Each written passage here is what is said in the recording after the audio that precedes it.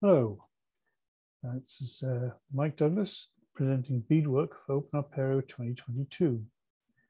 Bedework is a, a standards-based calendar system with an emphasis on the needs of educational organizations, universities especially. Public events are well supported, where we started, but we do have standards-based support for personal and group calendaring. Public events. The main features are a full and accurate support of standards. For example, we have recurring events with overrides, which is fully supported.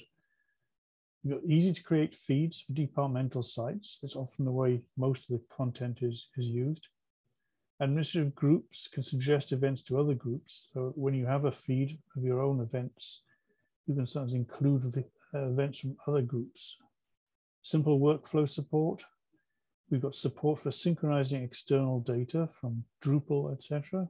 Multiple calendar views, got fully functional events administration. We also have event submission for non-administrators, which puts events into a queue which uh, for administrators to deal with.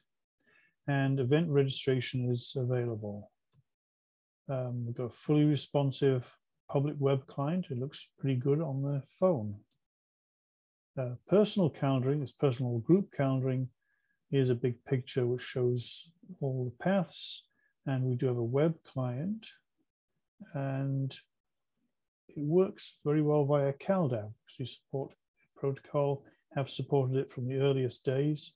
So you can uh, get it on your phone. We include sharing and notifications. And there's a list of uh, devices and applications that have we can use to access Bedework. Under the hood, it runs, it requires Java 11. It runs on Wildfly, the, almost the latest version at the moment. Uh, we use OpenSearch for searching. It was Elasticsearch, but uh, licensing issues, we moved to OpenSearch. Uh, you'll find on GitHub documentations moved to GitHub pages, and we use Maven to do the builds. Um, recent activities um, certainly some big changes on, on the behavior with the index.